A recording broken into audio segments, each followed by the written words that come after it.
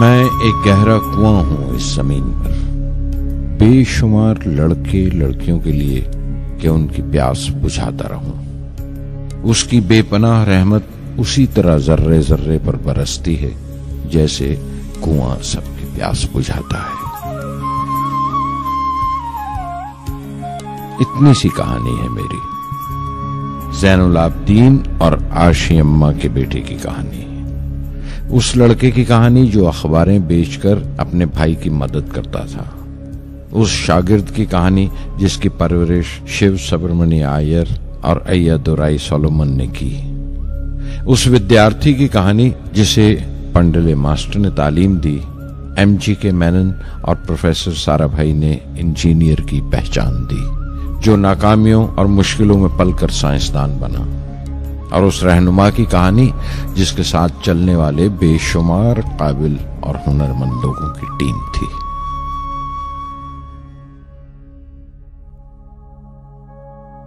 मेरी कहानी मेरे साथ खत्म हो जाएगी, क्योंकि दुनियावी मानों में मेरे पास कोई पूंजी नहीं है। मैंने कुछ हासिल नहीं किया, जमा नहीं किया, मेरे पास कुछ नहीं। और कोई नहीं, न बेटा, न बेटी, न परिवार। मैं दूसरों के लिए मिसाल नहीं बनना चाहता, लेकिन शायद कुछ पढ़ने वालों को प्रेरणा मिले कि अंतिम सुख रूह और आत्मा की तस्कीन है। खुदा की रहमत उनकी वरासत है। मेरे परदादा अबुल, मेरे दादा पकीर और मेरे वालिद जैनुल आबदीन का खानदानी सिलसिला अब्दुल कलाम पर ख़त्म हो जाएगा। लेकिन खुदा की रहमत कभी ख़त्म नहीं होगी। क्योंकि वो अमर है लाफानी है।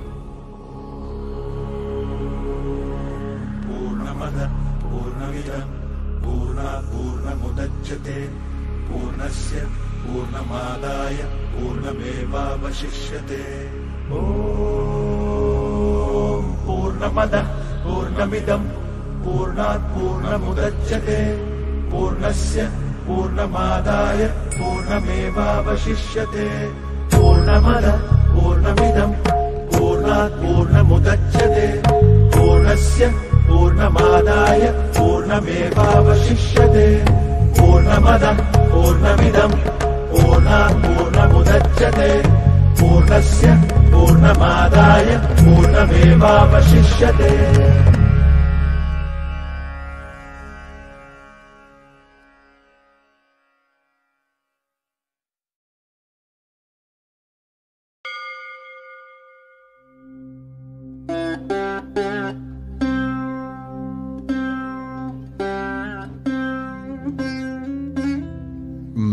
शहर रामेश्वरम के एक मिडिल क्लास तमिल खानदान में पैदा हुआ।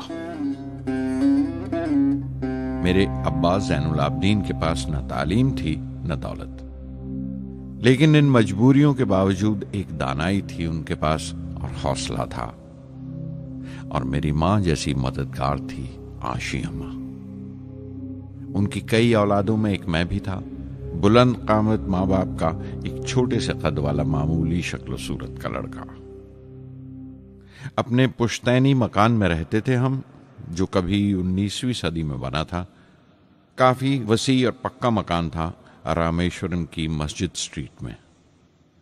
मेरे अब्बा हर तरह के ऐशो आराम से दूर रहते थे, मगर जरूरियात की तमाम चीज़ें मुयसर थीं। सच तो यह है कि मेरा बचपन बड़ा महफूज था। मादी तौर पर भी और जज्बाती तौर पर भी मटेरियली एंड इमोशनली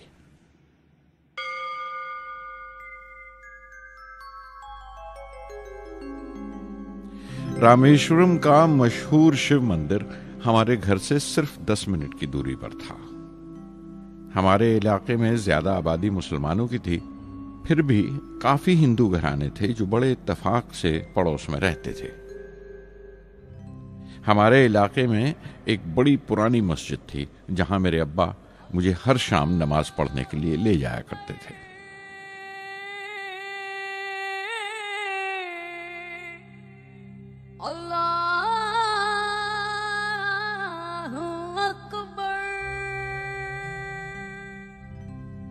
रामेश्वर मंदिर के बड़े पुरोहित पक्षी लक्ष्मण शास्त्री मेरे अब्बा के पक्के दोस्त थे। मेरी बचपन की यादों में आंकी हुई एक याद ये भी थी कि अपने अपने रवायती लिबास में बैठे हुए वो दोनों कैसे रूहानी मसलों पर देर देर तक बातें करते रहते थे। मेरे अब्बा मुश्किल से मुश्किल रूहानी मामलों को भी तमिल की आम जबान में बयान कर लिया करते थे। एक बार मुझसे कहा था, जब आफत आए तो आफत की वजह समझने की कोशिश करो मुश्किलें हमेशा खुद को परखने का मौका देती हैं।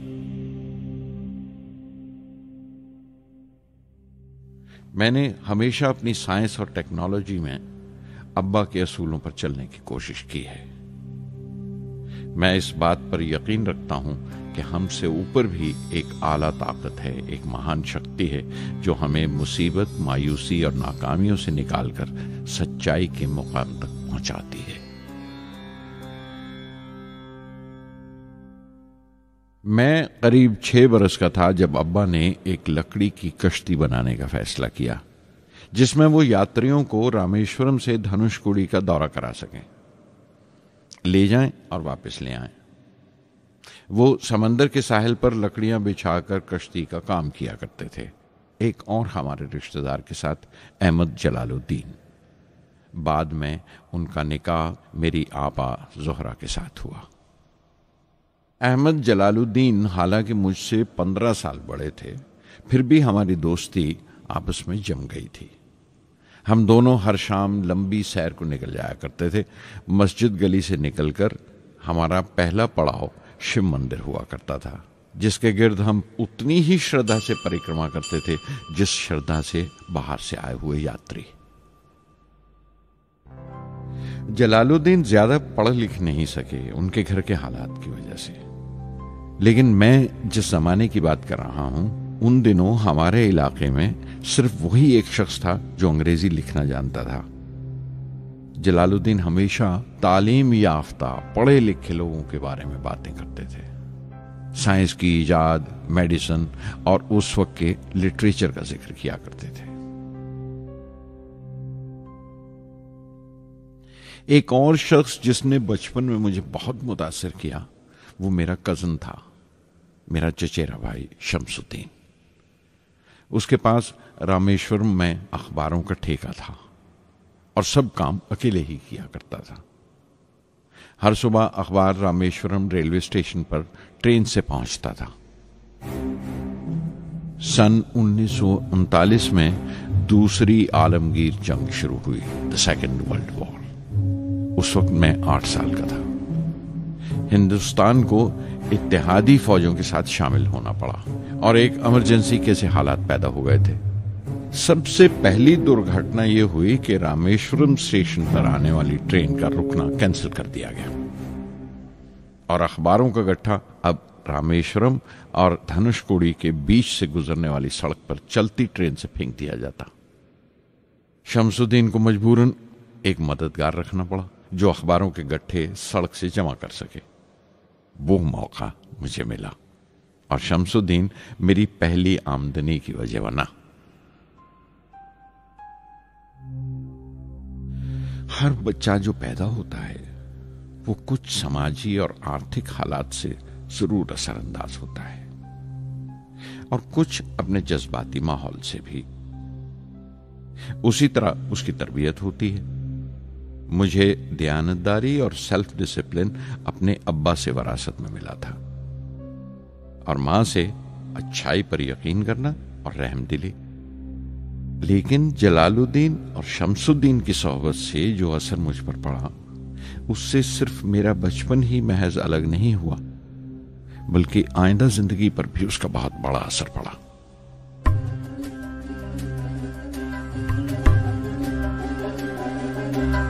தந்தை மகற்கு ஆற்றும் நன்றி அபயத்து முந்தி. இருப்பச்செயல் தந்தை மகற்கு ஆற்றும் நன்றி அபயத்து முந்தி. இருப்பச் செயல். மகன் தந்தைக்கு ஆற்றும்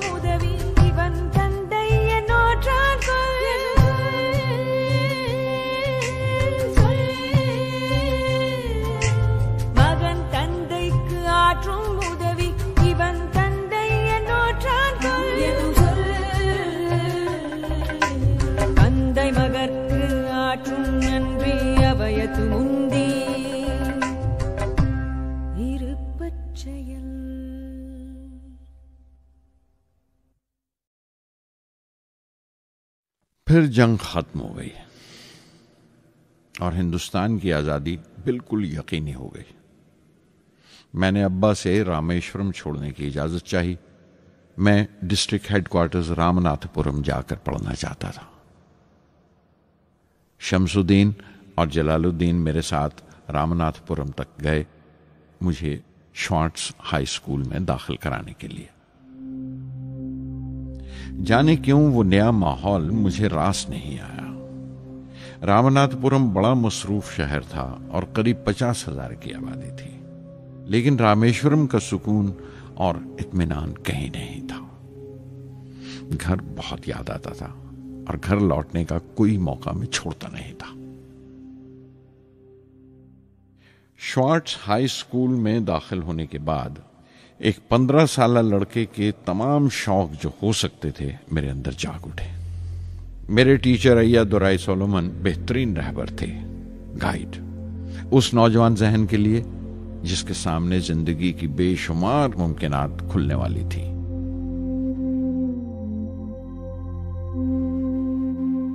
रामनाथपुरम के उस अरसा क़याम में, उनसे मेरा रिश्ता उस्ताद, शागिर्द या गुरु शिष्य से भी आगे निकल गया। अय्या दुराई कहा करते थे, ज़िंदगी कामयाब होने और नतीजे हासिल करने के लिए तीन ताकतों पर काबू पाना बहुत ज़रूरी है। ख्वाहिश, यकीन और उम्मीद। अय्या दुराई सोलोमन जो बाद में रेवरेंट हो गए, कहा करते थे, इससे पहले कि मैं चाहूँ कुछ हो जाए, ये ज़रूरी है कि मेरे अंदर उसकी पूरी शिद्दत से ख्वाहिश हो। और यकीन हो कि वो होगा। मैं अपनी ज़िंदगी से अगर मिसाल दूँ तो मुझे बचपन से ही आसमान के इसरार और परिंदों की परवाज हमेशा हैरान करती थी, फैसिनेट करती थी। समंदर में कूंजों और बगलों को ऊँची उड़ाने लगाते देखता था तो उड़ने को जी करता था। मैं एक सादा लोग, गाँव ही का लड़का तो था। लेकिन मुझे यकीन था कि एक दिन मैं ज़रूर उन कूंजों की तरह बुलंद उड़ाने लगाऊँगा, बुलंदी पर प्रवास करूँगा। और हकीकत यह है कि रामेश्वरम से उड़ने वाला मैं पहला लड़का था।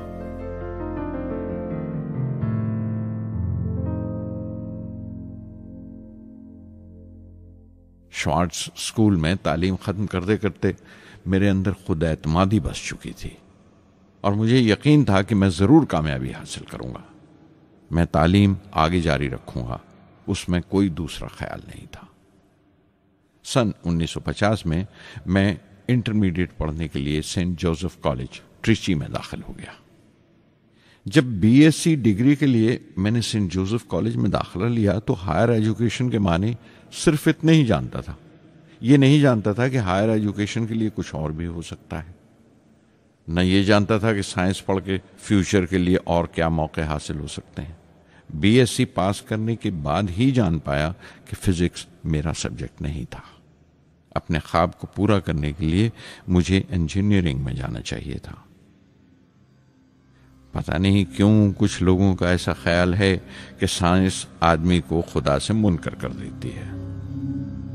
लेकिन मेरे लिए तो साइंस, एतमाद, विश्वास और रूहानी तस्कीन की वजह रही है। किसी तरह मैं एमआईटी यानी मद्रास इंस्टीट्यूट ऑफ़ टेक्नोलॉजी के उम्मीदवारों की लिस्ट में तो आ गया, लेकिन उसका दाखला बहुत महँगा था। कम से कम एक हज़ार रुपए की ज़रूरत थी और मेरे अब्बा के पास इतने रुपए नहीं थे। उस वक्त मेरी अक्का मेरी आपा जोहरा ने अपने सोने के कड़े और चेन बेचकर मेरी फ़ीस का इंतज़ाम किया। मुझ पर उसकी उम्मीद और यकीन देखकर मैं पसीज गया।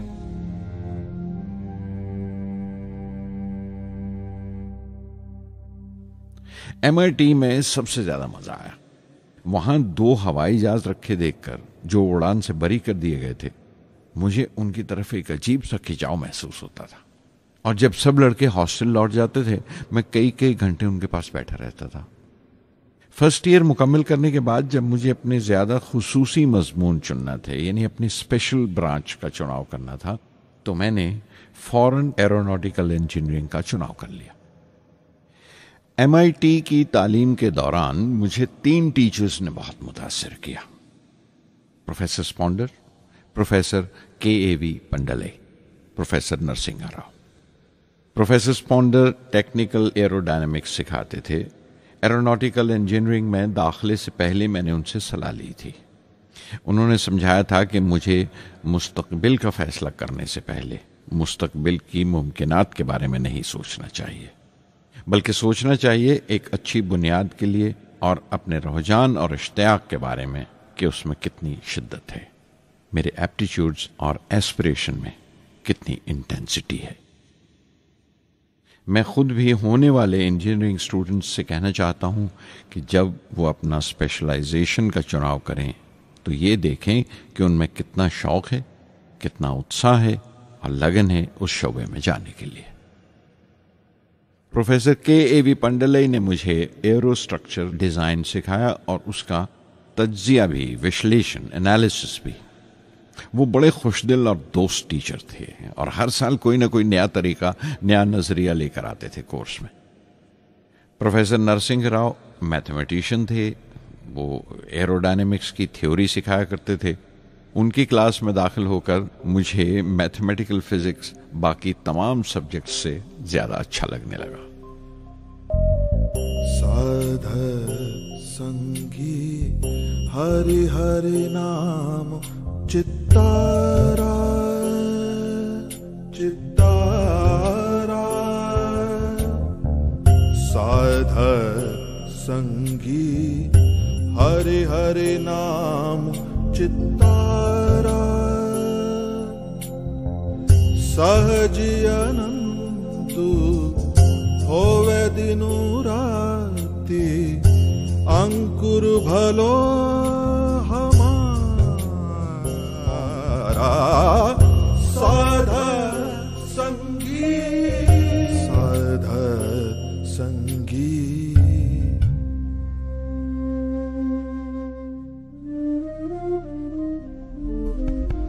गुरुपुरा भेटियो बड़ भागी।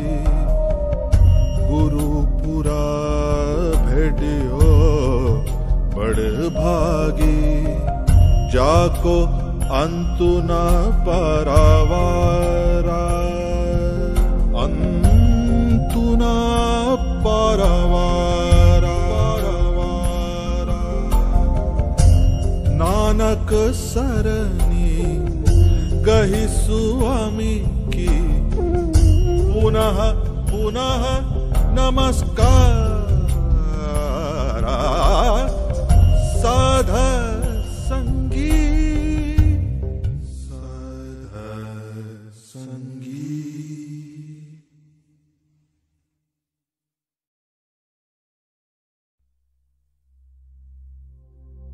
एमआईटी से मैं बेंगलोर के हिंदुस्तान एरोनॉटिक्स लिमिटेड एच में बतौर ट्रेनी दाखिल हो गया। एच से जब मैं एरोनॉटिकल इंजीनियरिंग ग्रेजुएट बनकर निकला तो ज़िंदगी ने दो मौके मेरे सामने खड़े कर दिए। और दोनों मेरी प्रवास के देरीना ख्वाब पूरे कर सकते थे। एक मौका था एयरफोर्स का, दूसरा मिनिस्ट्री ऑफ़ डिफेंस में directorate of technical development and production का। मैंने दोनों में अर्जी भेज दी। और बैक वक्त दोनों से इंटरव्यू का बुलावा आ गया। एयरफोर्स के लिए मुझे देहरादून बुलाया गया था और डिफेंस के लिए दिल्ली। मेरे दोनों मुकाम 2000 किलोमीटर के फासले पर थे। ये पहला मौका था मेरा अपने वसी और विराट वतन को देखने का। खिड़की पर बैठा मैं इस देश की सरजमीन को पाँव तले से बहता हुआ देख रहा था। हैरान था कि उत्तर की तरफ़ सफ़र करते हुए एक ही मुल्क का लैंडस्केप कैसे बदलता चला जाता है। मैं एक हफ़्ता दिल्ली में ठहरा। डिफेंस मिनिस्ट्री का इंटरव्यू दिया। इंटरव्यू अच्छा हुआ था। वहाँ से मैं देहरादून गया। एयरफोर्स सिलेक्शन बोर्ड के इंटरव्यू के लिए। 25 उम्मीदवारों में मैं नवे नंबर पर आया। मेरा दिल बैठ गया। बहुत मायूस हुआ और कई दिन तक अफसोस रहा कि एयरफोर्स में जाने का मौका मेरे हाथ से निकल गया। मैं ऋषिकेश चला गया। दिल पर यह बोझ लेकर कि आने वाले दिन बड़े सख्त होंगे।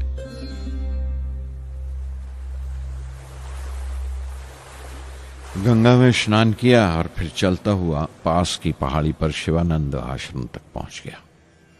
स्वामी शिवानंद से भेंट हुए देखने में बिल्कुल गौतम बुद्ध लगते थे। सफ़ेद, दूधिया धोती और पाँव में लकड़ी की खड़ाऊ। उनकी बच्चों सी मासूम मुस्कान और सादा दिली देखकर बहुत प्रभावित हुआ मैं। मैंने बताया उन्हें कैसे मैं इंडियन एयरफोर्स में भर्ती होने से रह गया। और मेरी कितनी शदीद ख्वाहिश थी आसमानों में उड़ने की, प्रवास करने की। वो मुस्कुरा दिए और बोले, ख्वाहिश अगर दिलो जान से निकली हो, वो पवित्र हो और उसमें शिद्दत हो तो उसमें कमाल की एक इलेक्ट्रोमैग्नेटिक एनर्जी होती है, एक बरकी मकनातीसी ताकत होती है। दिमाग जब सोता है तो वो एनर्जी रात की खामोशी में बाहर निकल जाती है। और सुबह कायनात, ब्रह्मांड से सितारों की गति, रफ्तार को अपने साथ समेटकर दिमाग में लौट आती है। इसीलिए जो सोचा है, उसकी सृष्टि अवश्य है। वो तखलीक होगा। तुम विश्वास करो इस अजली बंधन पर, इस वचन पर, कि सूरज फिर लौटेगा, बाहर फिर से आएगी। मैं दिल्ली लौट आया। डिफेंस से अपना इंटरव्यू का नतीजा दरियाफ्त किया। जवाब में मुझे अपॉइंटमेंट लेटर थमा दिया गया। और अगले दिन से सीनियर साइंटिफिक असिस्टेंट मुकर कर दिया गया ढाई सौ रुपए की महाना तनख्वाह पर। तीन साल गुजर गए। उन्हीं दिनों बेंगलोर में एरोनॉटिकल डेवलपमेंट एस्टेब्लिशमेंट एडीई का एक नया महकमा खुला और मुझे वहाँ पोस्ट कर दिया गया। बेंगलोर कानपुर से बिल्कुल मुख्तलिफ़ शहर था। मैं अपने डायरेक्टोरेट की पोस्टिंग का पहला साल वहाँ गुजार चुका था। दरअसल हमारे देश में ये एक अजीब तरीका है, एक अजीब सा ढंग है अपने लोगों को हद दर्जा तक निचोड़ लेने का, जो हमारे लोगों को इंतहा पसंद बना देता है। शायद इसलिए कि सदियों इस देश ने गैर मुल्की तहजीबों के जख्म भी खाए हैं और उन्हें अपने दामन में जगह भी दी है। अलग अलग हुक्मरानों से वफा करते करते हम अपनी हैसियत, अपनी यकताई खो बैठे हैं। बल्कि हमने एक और ही किस्म की खूबी पैदा कर ली है कि एक ही वक्त में रहम दिल भी हैं और बेरहम भी, हसास भी हैं और बेहिस भी। जितने गहरे हैं, उतने ही सतही। ऊपर से देखो तो हम बड़े खुश रंग और खूबरू नज़र आते हैं, लेकिन कोई गौर से देखे तो अपने हुक्मरानों की एक बेढब नकल से ज़्यादा कुछ नहीं है। मैंने कानपुर में कल्ले में दबाए हुए पान वाले नवाब वाजिद अली शाह के नकलची बहुत देखे और बेंगलोर में फिरंगियों के अंदाज में कुत्ते की जंजीर थामे टहलते हुए साहिबों की कमी नहीं थी। बेंगलोर में रहकर मैं रामेश्वरन की सुकून और गहरे शांत वातावरण के लिए तरसता था।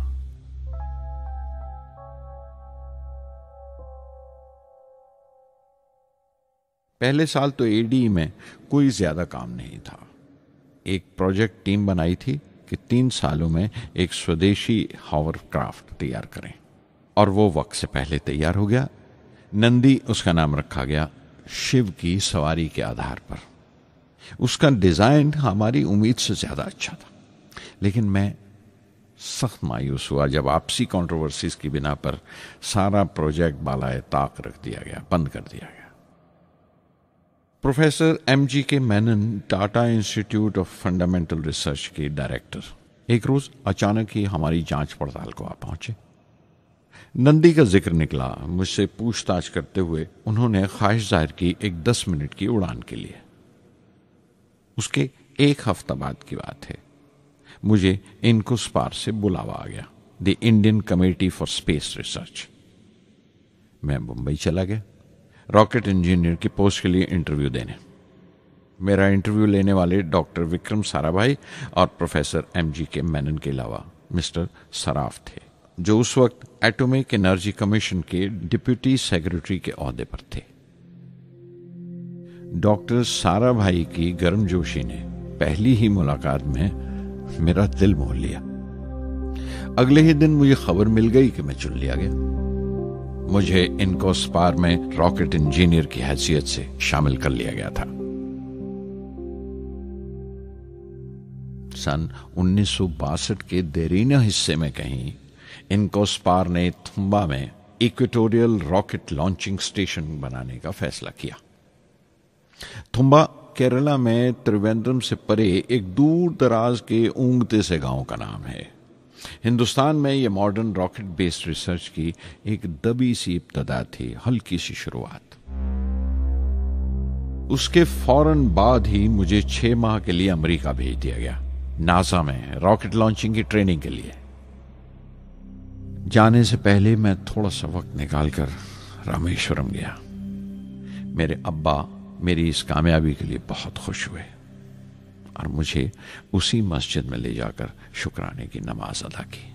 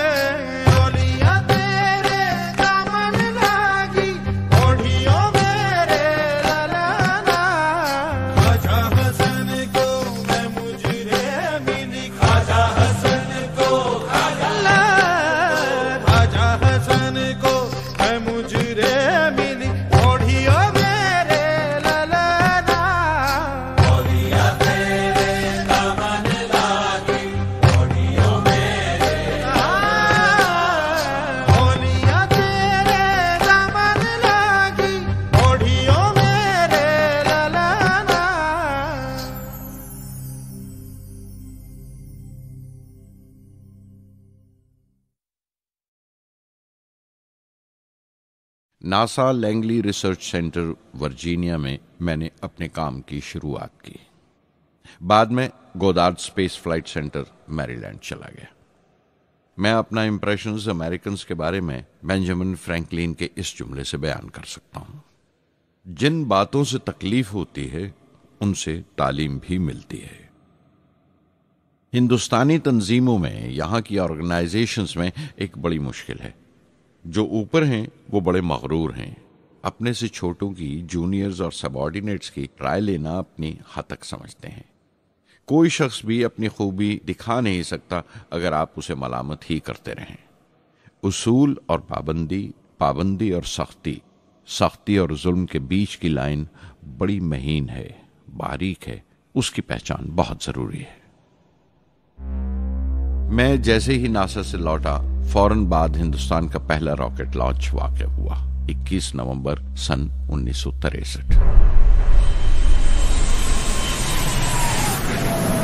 वो साउंडिंग रॉकेट था, नाम नाइकी अपैची नाइकी अपैची की कामयाबी के बाद प्रोफेसर साराभाई ने अपनी आरज़ू, अपने ख्वाब का इजहार किया। एक Indian satellite launch vehicle ISLV का सपना। हिंदुस्तानी रॉकेट का ख्वाब 20वीं सदी में एक तरह से 18वीं सदी का ख्वाब भी कहला सकता है, जो टीपू सुल्तान ने देखा था। टीपू सुल्तान की फौज में 27 ब्रिगेड थे, जो खुशून कहलाते थे, और हर एक ब्रिगेड में एक दस्ता था रॉकेटमैन का, जो साथ रहा करता था और जुर्क्स कहलाता था। जब टीपू सुल्तान मारा गया तो अंग्रेज़ों ने 700 रॉकेट्स और 900 रॉकेट के सब सिस्टम्स बरामद किए। 1799 में तिरुकन्नाहल्ली की जंग के बाद। वो रॉकेट्स विलियम कांग्रीव ने इंग्लैंड भिजवा दिए, जाँच पड़ताल के लिए, उसकी तकनीक समझने के लिए, जिसे आज की साइंसी जबान में हम रिवर्स इंजीनियरिंग कहते हैं। टीपू सुल्तान की मौत के साथ उस खाब की भी मौत हो गई। कम से कम डेढ़ सौ साल के लिए। पंडित जवाहरलाल नेहरू की बदौलत वो रॉकेटरी का ख्वाब एक बार फिर हिंदुस्तान में ज़िंदा हुआ। प्रोफेसर साराभाई ने उस ख्वाब को हकीकत बनाने की जिम्मेवारी अपने सर ले ली। बहुत से तंग नज़र लोगों को एतराज़ था इस बात पर कि इस मुल्क में जहाँ लोगों को दो वक्त की रोटी नसीब नहीं होती, वहाँ इन स्पेस उड़ानों को, इन खलाई तहरीकों को क्यों तरजीह दी जा रही है? लेकिन प्रधानमंत्री पंडित नेहरू और प्रोफेसर साराभाई के नज़रिए में किसी किस्म का मुबालगा नहीं था। उनके नज़रिए बिल्कुल साफ़ थे कि अगर दुनिया के मुल्कों में और दुनिया के मसलों में कोई हिस्सा लेना है, शिरकत करनी है, हिंदुस्तान को कोई हैसियत हासिल करनी है तो साइंस और टेक्नोलॉजी की तरक्की और खुद मुख्तारी सेल्फ रिलायंस अशद ज़रूरी है। और उनका मकसद ताकत का मुजाहरा हरगिज नहीं था। सहज पके सुमीठा होए। थुम्बा में दो रॉकेट सहज पके, मगर कामयाब हुए। एक रोहनी दूसरा मैंने कहा अगला साल लगा ही था जब प्रोफेसर सारा भाई ने मुझे दिल्ली बुला भेजा। एक मीटिंग थी और मीटिंग में group captain V S Narayanan से मेरा तारुफ कराया गया, जो एयर हेडक्वार्टर्स से थे। प्रोफेसर सारा भाई ने रेटो तैयार करने का इरादा ज़ाहिर किया। Rocket assisted take off system, एक मिलिट्री एयरक्राफ्ट जो रॉकेट की मदद से उड़ाया जा सके, बड़ी छोटी सी जगह में। शाम तक यह खबर भी आम हो गई कि हिंदुस्तान एक खुद साख्ता मिलिट्री एयरक्राफ्ट तैयार कर रहा है और मैं उस प्रोजेक्ट का मुख्तार हूँ, जिम्मेदार हूँ। मैं कई तरह के जज्बात से भर गया। खुश भी था, शुक्रगुजार भी, खुशकिस्मत भी। और एक एहसास हुआ तकमील का फुलफिलमेंट का। उन्नीसवीं सदी के एक शायर की ये सत्रें बहुत याद आई। हर दिन के लिए तैयार रहो। हर दिन को एक तरह ही मिलो। जब ओखली हो, बर्दाश्त करो। जब दस्ता हो तो वार करो। रेटो पे काम करते हुए दो अहम वाकयात हुए।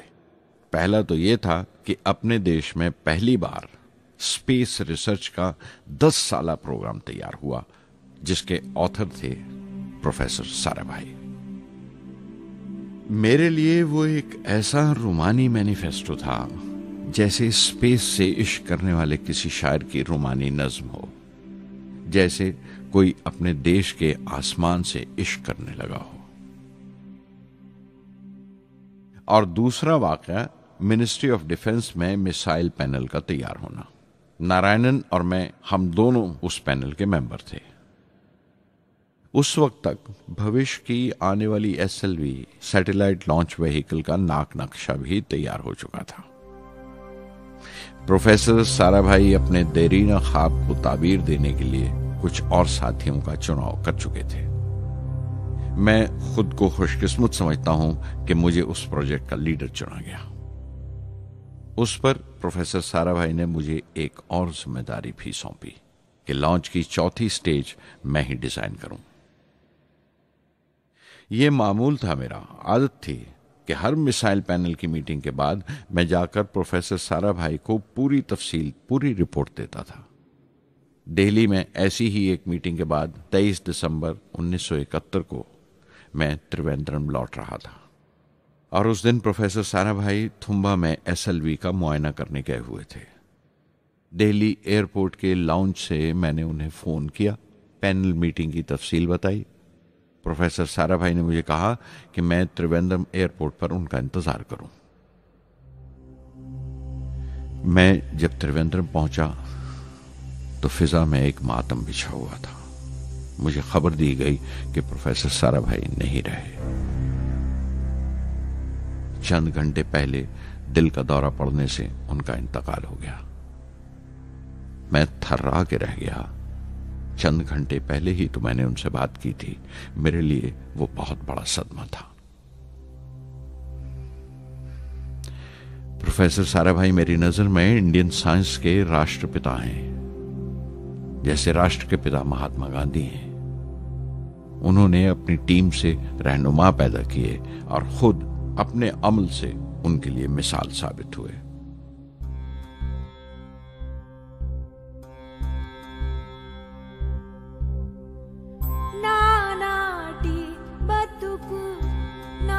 个梦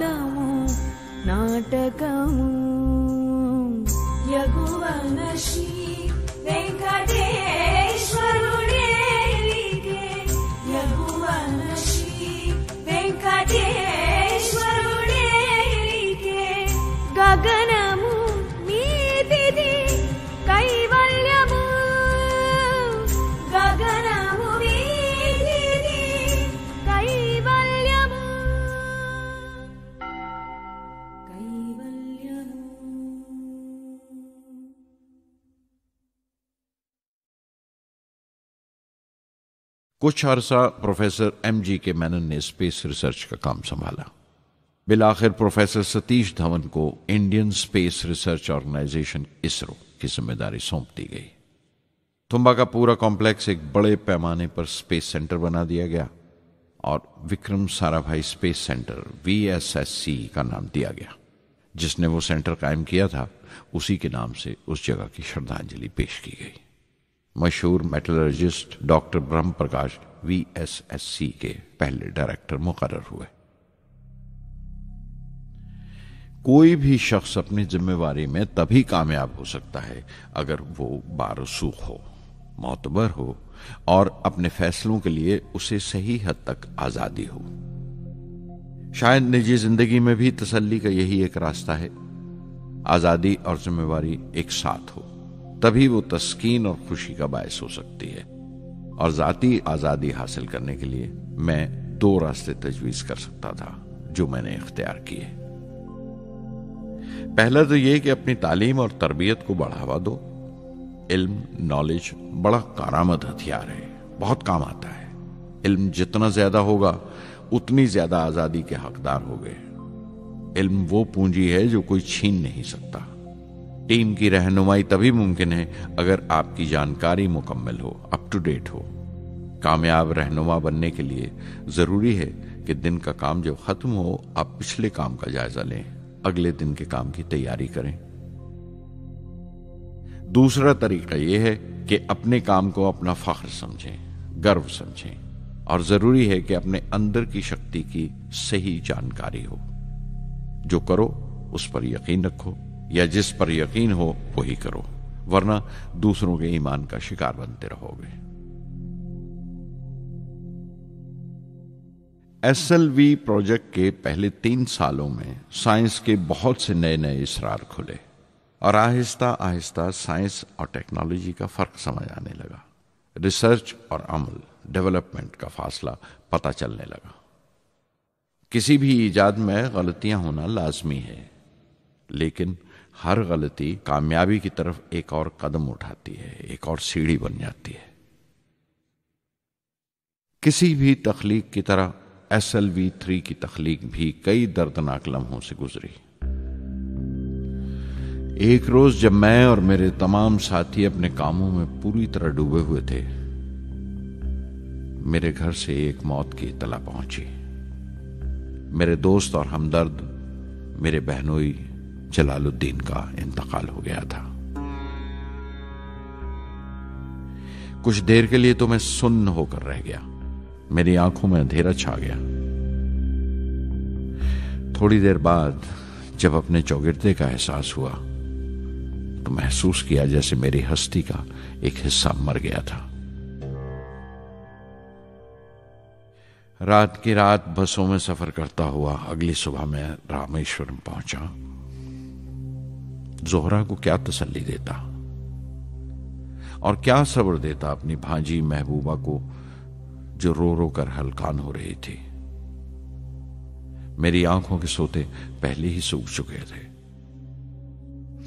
थुम्बा लौटकर बहुत दिनों तक सारा कामकाज, सारी मसरूफियत बेमाने लगने लगी।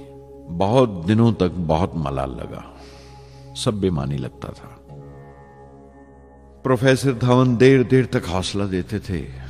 कहते, एसएलवी पर जैसे जैसे काम आगे बढ़ेगा, मुझे सब्र महसूस होगा और ये मायूसी कम होते होते गुजर जाएगी।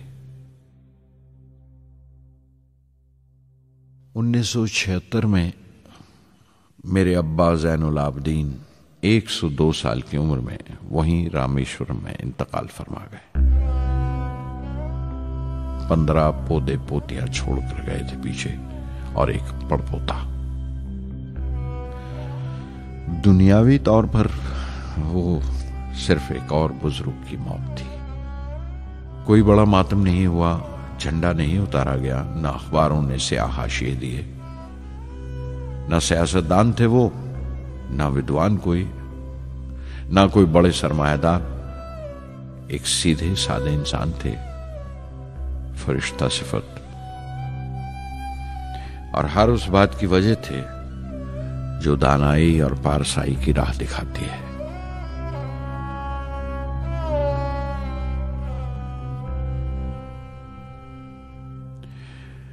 मैं बहुत देर तक अपनी माँ के पास बैठा रहा, चुपचाप, और जब उठा थुम्बा लौटने के लिए तो उसने रुंधे गले से दुआएँ दी मुझे।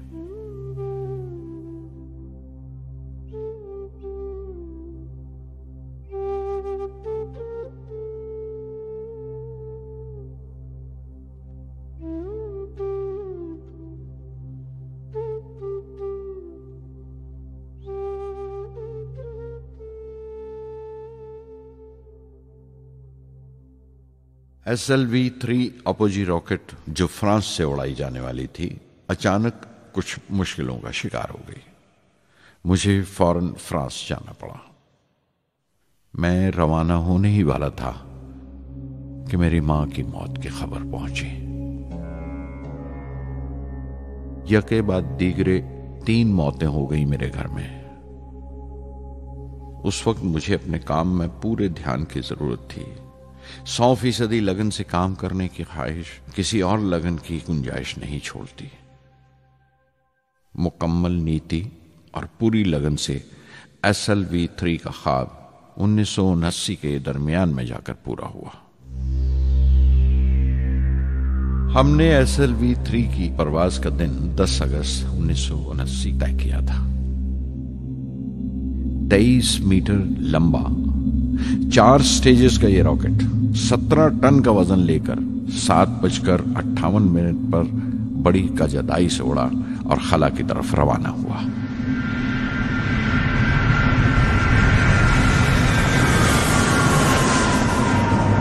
पहली स्टेज हर तरह से पुख्ता निकली और बड़े आराम से रॉकेट दूसरी स्टेज में दाखिल हो गया। हम सब दम खुद रह गए, सांस रोके बैठे थे। हमारे बरसों का खाद आसमान की तरफ़ सफ़र कर रहा था। अचानक हमारे ख्वाब में दरार आई, हमारा सुकूत टूटा, हमारी खामोशी टूटी। दूसरी स्टेज काबू से बाहर होने लगी थी। 317 सेकंड के बाद परवाज टूट गई।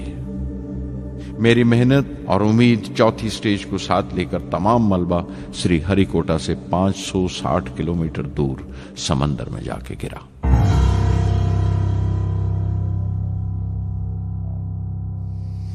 इस हादसे से हम सबको सख्त सदमा पहुँचा।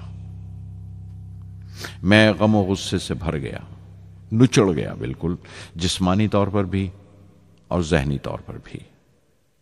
मैं सीधा अपने कमरे में गया और बिस्तर में धंस गया। मैंने अपने कंधे पर एक दिलासे का हाथ महसूस किया तो आँख खोली। दोपहर ढल चुकी थी, शाम करीब थी। डॉक्टर ब्रह्म प्रकाश मेरे सराहने बैठे थे। उनकी इस हमदर्दी ने छू लिया मुझे। मैं उदास था, मायूस था। लेकिन अकेला नहीं।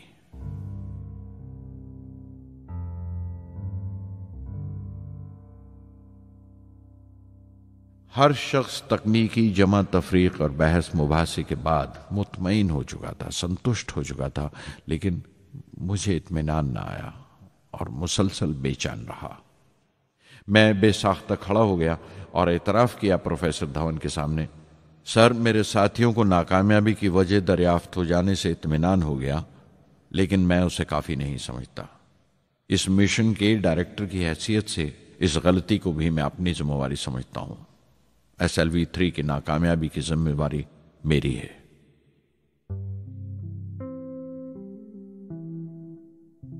साइंस का काम कमाल दर्जा उत्साह भी देता है, खुशी भी और उतनी ही गहरी मायूसी भी।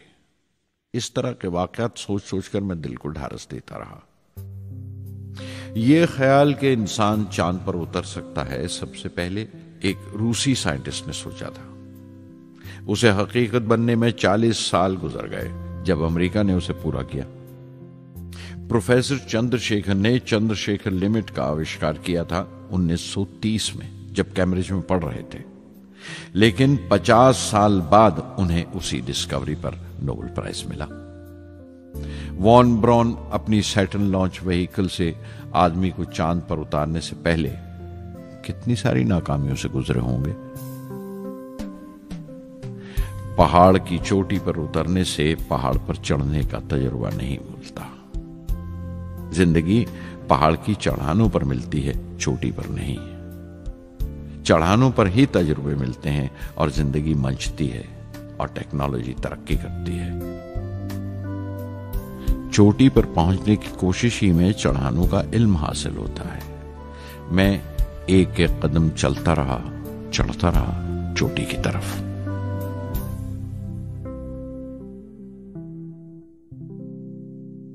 एस एल वी थ्री की उड़ान से 30 घंटा पहले 17 जुलाई 1980 के दिन अखबारों की सुर्खियाँ तरह तरह की राय और अंदाजों से भरी हुई थीं। ज़्यादातर रिपोर्टर्स ने पहली एसएलवी की उड़ान याद दिलाई थी कि किस तरह वो रॉकेट फेल हो गया था और उसका मलबा समंदर में जाकर गिरा था। कुछ लोगों ने तो देश की दूसरी खामियों का ज़िक्र करते हुए भी उसे एस एल वी थ्री से जोड़ दिया था। मैं जानता था कि अगले दिन का नतीजा हमारे फ्यूचर के स्पेस प्रोग्राम का फैसला करने वाला है। मुख्तसर ये कि सारी कौम की नज़रें हम पर गड़ी हुई थीं। 18 जुलाई 1980 सुबह आठ बजकर तीन मिनट पर हिंदुस्तान का पहला सैटेलाइट लॉन्च व्हीकल उड़ा।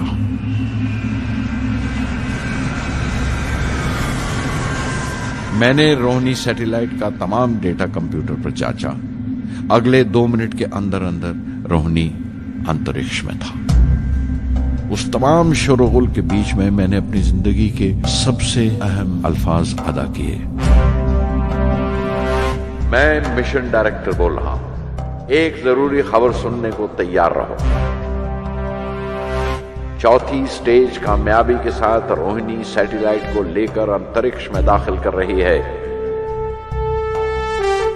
मैं ब्लॉक से बाहर आया तो मेरे साथियों ने मुझे कंधों पर उठा लिया और नारे लगाते हुए जुलूस निकाला। सारी कौम में एक जोश की लहर दौड़ गई। हिंदुस्तान उन चंद कौमों में शामिल हो गया था जिनके पास सैटेलाइट लॉन्च की काबिलियत थी।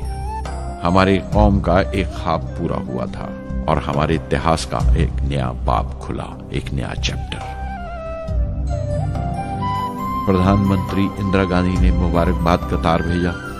और सबसे ज़्यादा हिंदुस्तान के साइंसदान खुश थे कि ये पूरी कोशिश स्वदेशी थी, हमारी अपनी थी। मैं कुछ मिले जुले जज्बात से गुजर रहा था।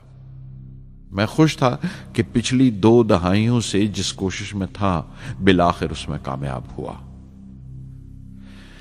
लेकिन उदास था, जिन लोगों की बदौलत में यहाँ पहुँचा था, वो लोग मेरे साथ नहीं थे। मेरे अब्बा, मेरे बहनोई जलालुद्दीन और प्रोफेसर सारा भाई। एस एल वी थ्री की कामयाबी के महीने भर के अंदर ही प्रोफेसर धवन का फ़ोन आया एक दिन और दिल्ली बुलाया, प्रधानमंत्री से मिलने के लिए।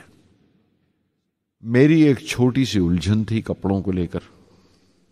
हमेशा से बड़े आमियाना से कपड़े पहनता हूँ और पाओ में चप्पल, या स्लीपर कह लो। प्रधानमंत्री को मिलने जैसा वो लिबास नहीं था। मेरे लिए नहीं, उनके एहतराम के लिए। सुना तो प्रोफेसर धवन बोले, कपड़ों की फ़िक्र मत करो, तुमने जो शानदार कामयाबी पहन रखी है, वो काफ़ी है। रिपब्लिक डे 1981 मेरे लिए एक बड़ी खुशखबरी लेकर आया। कि मुझे पद्म भूषण से नवाजा गया है। मैंने अपने कमरे को बिस्मिल्ला खां की शहनाई से भर लिया। शहनाई की गूंज मुझे कहीं और ही ले गई। मैं रामेश्वरम पहुँच गया। माँ के गले लगा। अब्बा ने मेरे बालों को उंगलियों से सहलाया और मेरा दोस्त मेरा रफीक जलालुद्दीन मस्जिद गली में जमा हुए लोगों में मेरे इनाम का ऐलान कर रहा था। मेरी बहन जोहरा ने मीठा बनाया घर में। पक्षी लक्ष्मण शास्त्री ने मेरे माथे पर तिलक लगाया। फादर सोलोमन ने मेरे हाथ में सलीब देकर दुआ पड़ी और प्रोफेसर सारा भाई को देखा। उनके चेहरे पर मुस्कुराहट थी, फखर था। जो पौधा वो लगा कर गए थे, अब पूरा पेड़ बन चुका था, जिसके फल हिंदुस्तान की आवाम तक पहुँच रहे थे।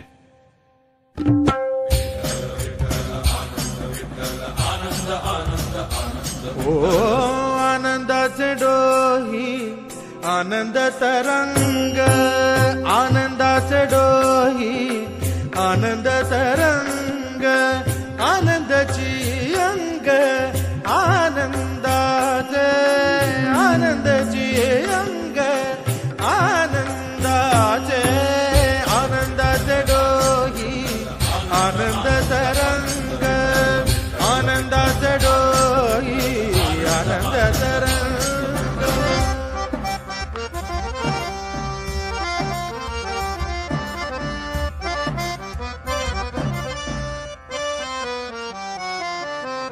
गर्भाचे आवडी मातेचा डोहळा तेथीचा जीवळा तेथे बिंबे गर्भाचे आवडी मातेचा डोहळा तेथीचा जीवळा तेथे बिंबे तुका म्हणे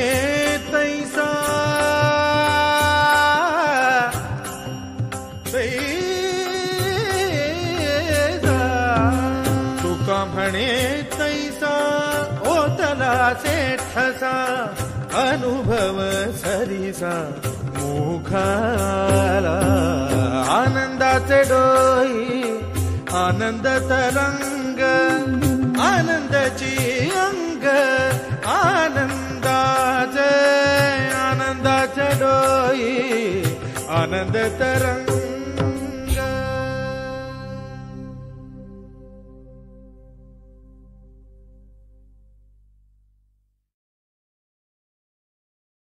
पहली जून 1982 मैंने defence research and development laboratory DRDL की जिम्मेवारी संभाल ली। उस वक्त के defence minister Shri R Venkataraman ने जब मशवरा दिया कि बजाय दर्जा बदर्जा मिसाइल तैयार करने के, हमें मुकम्मल अपनी मिसाइल तैयार करने का प्रोग्राम बनाना चाहिए तो हमें अपने कानों पर यकीन नहीं आया। और देखते देखते ही वो प्रोजेक्ट एक मुकम्मल मिसाइल का प्रोग्राम बन गया। जिसके नतीजे आइंदा बहुत दूर तक पहुँचे। हर एक प्रोजेक्ट का नाम हिंदुस्तान की खुद मुख्तारी सेल्फ रिलायंस का सबूत था। सरफेस टू सरफेस मिसाइल का नाम पृथ्वी रखा गया। टैक्टिकल कोर व्हीकल को त्रिशूल का नाम दिया गया। Surface to air defence system Akash कहलाया। एंटी टैंक मिसाइल प्रोजेक्ट को नाग के नाम से पुकारा गया। और मेरे देरीना खाब रेक्स को, यानी re entry experiment launch vehicle को मैंने अग्नि का नाम दिया। मिसाइल टेक्नोलॉजी का हुनर दुनिया की कुछ चुनी हुई कौमों के पास ही था। वो बड़े ताज्जुब से हमारी तरफ़ देख रहे थे कि हम क्या करने जा रहे हैं और कैसे करेंगे। हम एक मीटिंग में बैठे हुए अपने मकसद को पूरा करने के लिए उन्नीस सौ चौरासी की निशानदेही कर रहे थे, जब डॉक्टर ब्रह्म प्रकाश की मौत की खबर आई। मेरे लिए वो एक और सदमा था। पहली एसएलवी की नाकामी के वक्त जिस तरह उन्होंने ढारस दी थी मुझे, वो याद करके मैं और ज़्यादा गमगीन हो गया।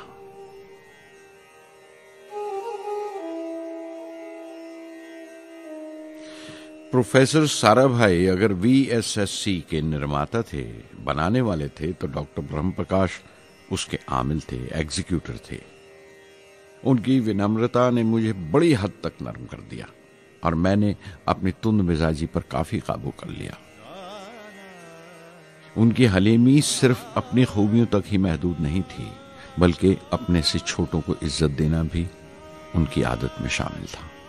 उनके बर्ताव और सलूक में ये बात नज़र आ जाती थी कि कोई शख्स भी खामियों से खाली नहीं है। यहाँ तक कि अफसर भी, लीडर भी, रहनुमा भी, वो बहुत बड़े दानश्वर थे। एक कमज़ोर से शरीर के अंदर उनमें बच्चों की सी मासूमियत थी। मुझे वो हमेशा साइंसदानों में संत नज़र आते थे।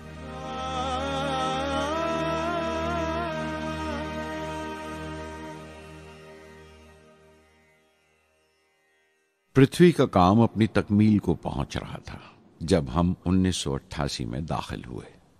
25 फरवरी 1988 सुबह ग्यारह बजकर तेईस मिनट पर पृथ्वी की पहली परवाज वाक़ हुई। हमारे मुल्क में वो एक ऐतिहासिक मौका था। पृथ्वी सिर्फ़ एक सरफेस टू सरफेस मिसाइल ही नहीं, बल्कि आइंदा आने वाली तमाम किस्म की मिसाइल का बुनियादी नक्शा भी था। फ्यूचर का मॉड्यूल था वो। पृथ्वी ने हमारे आस पड़ोस के मुल्कों को दहला दिया। मगरबी, यानी वेस्टर्न मुल्कों को पहले तो हैरत हुई, फिर गुस्से का इजहार किया और पाबंदी लगा दी इंडिया के लिए कि वो ऐसी कोई चीज़ बाहर के मुल्कों से न खरीद सकें, जो उनके मिसाइल प्रोग्राम में इस्तेमाल हो सकती हो या काम आ सकती हो। मिसाइल की ईजाद में हिंदुस्तान की खुद मुख्तारी ने दुनिया के तमाम तरक्की याफ्ता मुल्कों को परेशान कर दिया। अग्नि की टीम में 500 से ज़्यादा साइंसदान शामिल थे। अग्नि की परवाज 20 अप्रैल उन्नीस तय पाई थी। लॉन्च की तमाम तैयारियाँ मुकम्मल हो चुकी थीं और हिफाजत के लिए यह फैसला किया गया था कि लॉन्च के वक्त आसपास के तमाम गाँव खाली करा दिए जाएँ। अखबारात और दूसरी मीडिया ने इस बात को बहुत उछाला। 20 अप्रैल पहुँचते पहुँचते तमाम मुल्क की नज़रें हम पर टिकी हुई थीं। दूसरे मुल्कों का दबाव बढ़ रहा था कि हम इस तजुर्बे को मुलतवी कर दें या खारिज कर दें। लेकिन सरकार मज़बूत दीवार की तरह हमारे पीछे खड़ी रही और किसी तरह हमें पीछे नहीं हटने दिया। परवाज से सिर्फ़ चौदह सेकंड्स पहले हमें कंप्यूटर ने रुकने का इशारा किया। किसी एक पुर्जे में कोई खामी थी। वो फ़ौरन ठीक कर दी गई। लेकिन उसी वक्त डाउन रेंज स्टेशन ने रुकने का हुक्म दिया। चंद सेकंड्स में कई रुकावटें सामने आ गई और परवाज मुलतवी कर दी गई। अखबारात ने आस्तीनें चढ़ा ली। हर बयान ने अपनी अपनी तरह की वजूहत निकाल ली। कार्टूनिस्ट सुधीर दार ने एक कार्टून शाया किया, जिसमें एक खरीदार कुछ सामान दुकानदार को वापस करते हुए कह रहा था, अग्नि की तरह वो भी नहीं चली। एक कार्टून में दिखाया गया कि साइंसदान कह रहा है, सब ठीक था, स्विच बटन नहीं चला। हिंदुस्तान टाइम्स के कार्टून में एक नेता रिपोर्टर को समझा रहा है, डरने की कोई बात नहीं, ये बड़ी अमन पसंद अहिंसावाद की मिसाइल है, इससे कोई मरेगा नहीं। करीब दस रोज दिन रात काम चला मिसाइल की दुरुस्ती पर, और आखिरकार साइंसदानों ने एक नई तारीख तय की अग्नि की परवास के लिए। मगर फिर वही हुआ। दस सेकंड पहले कंप्यूटर ने रुकावट का इशारा किया। पता चला एक पुर्जा काम नहीं कर रहा है। परवाज फिर मुलतवी कर दी गई। ऐसी बात किसी भी साइंसी तजुर्बे में हो जाना आम बात है। गैर मुल्कों में भी बहुत बार होता है। लेकिन उम्मीद से भरी हुई कौम हमारी मुश्किलें समझने को तैयार नहीं थी। हिंदू अखबार में केशव का एक कार्टून छपा, जिसमें एक देहाती कुछ नोट गिनते हुए कह रहा था मिसाइल के वक्त गाँव से हट जाने का मुआवजा मिला है। दो चार बार और ये तजुर्बा मुलतवी हुआ तो मैं पक्का घर बनवा लूँगा। अमोल बटर वालों ने अपने होर्डिंग पर लिखा, अग्नि को ईंधन के लिए हमारे बटर की ज़रूरत है। अग्नि की मुरम्मत का काम जारी रहा। आखिरकार एक बार फिर 22 मई की तारीख अग्नि की परवाज के लिए तय पाई उसकी पिछली रात doctor Arunachalam, general K N Singh और मैं डिफेंस मिनिस्टर केसी पंत के साथ चहलकदमी कर रहे थे। पूरे चाँद की रात थी। हाई टाइड का वक्त था और लहरें गरज गरज कर खुदा की अजमत का नाम ले रही थी। कल अग्नि की परवाज कामयाब होगी या नहीं, बार बार यही सवाल हमारे दिमाग में गूंज रहा था।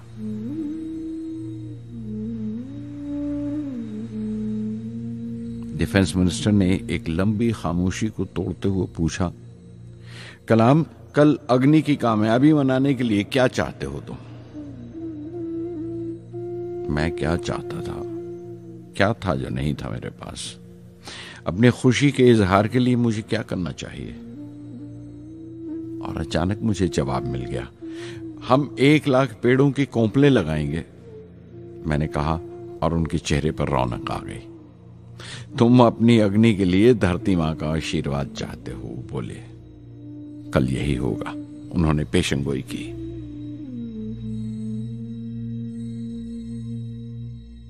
अगले दिन सुबह सात बजकर दस मिनट पर अग्नि लॉन्च हुई।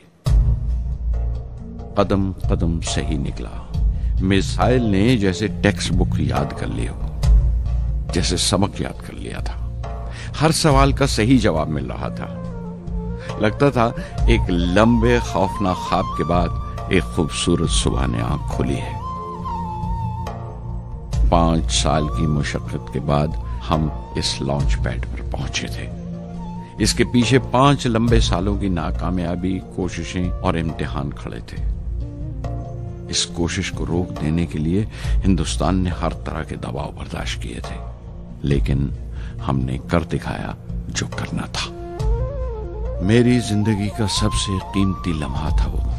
वो मुट्ठी भर सेकंड्स 600 सेकंड की वो परवाज जिसने हमारी बरसों की थकान दूर कर दी, बरसों की मेहनत को कामयाबी का तिलक लगाया। उस रात मैंने अपनी डायरी में लिखा, अग्नि को इस नज़र से मत देखो। ये सिर्फ़ ऊपर उठने का साधन नहीं है, न शक्ति की नुमाइश है। अग्नि एक लौ है जो हर हिंदुस्तानी के दिल में जल रही है। इसे मिसाइल मत समझो। ये कौम के माथे पर चमकता हुआ आग का सुनहरी तिलक है। स्वधर्ममपि चावेक्ष्य, न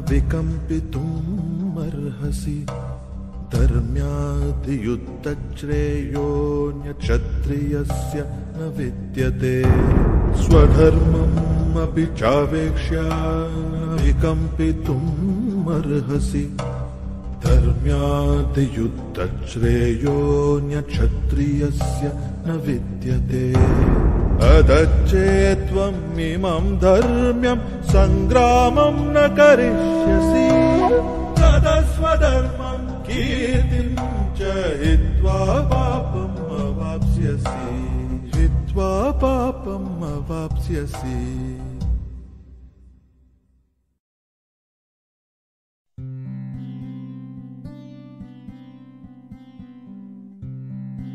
उन्नीस सौ नब्बे के रिपब्लिक डे पर देश ने मिसाइल प्रोग्राम की कामयाबी का जश्न मनाया।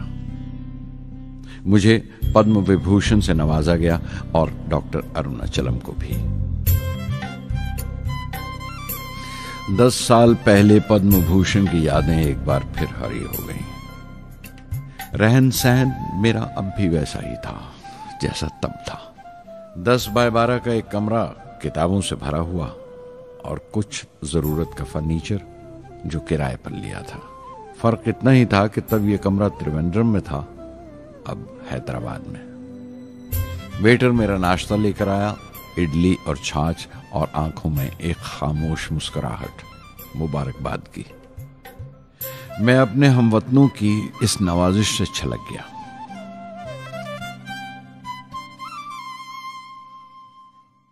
मैं जानता हूँ कि बहुत से साइंसदान और इंजीनियर मौका मिलते ही वतन छोड़ जाते हैं। दूसरे मुल्कों में चले जाते हैं, ज़्यादा रुपया कमाने के लिए, ज़्यादा आमदनी के लिए।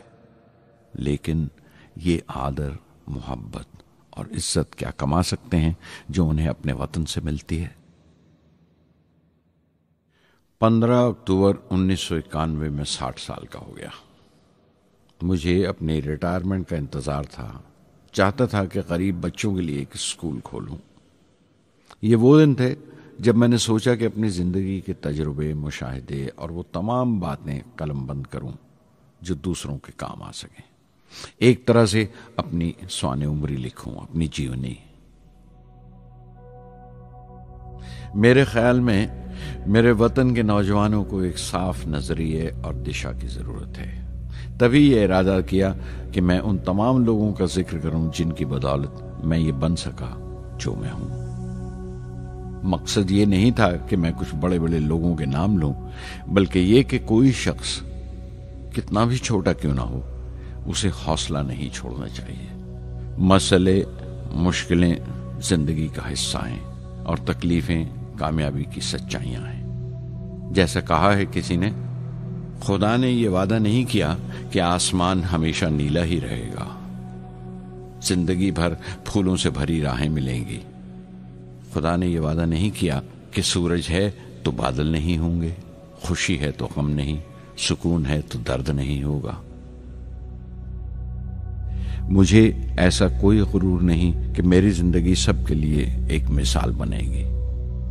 मगर यह हो सकता है कि कोई मायूस बच्चा किसी गुमनाम सी जगह पर, जो समाज के किसी माजूर हिस्से से ताल्लुक रखता हो। ये पढ़े और उसे चैन मिले। ये पढ़े और उसकी उम्मीद रोशन हो जाए। हो सकता है ये कुछ बच्चों को नाउमीदी से बाहर ले आए, और जिसे वो मजबूरी समझते हैं, वो मजबूरी ना लगे। उन्हें यकीन रहे कि वो जहाँ भी हैं, खुदा उनके साथ है।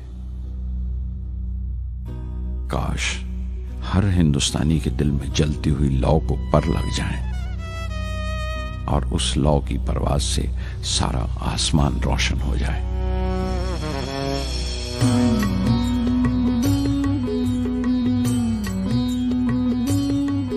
ये जमी मेरी, मेरा आसमां, बड़ा खूबसूरत है जहाँ।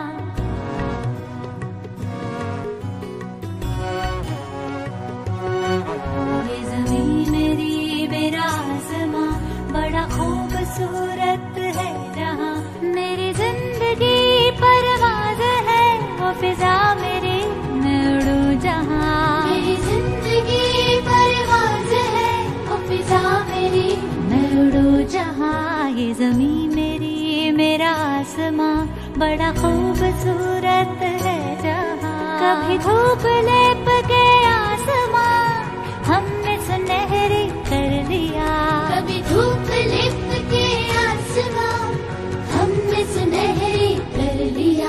फिर धूप बाँध के पाँव में हम उड़े हैं ठंडी हवाओं में।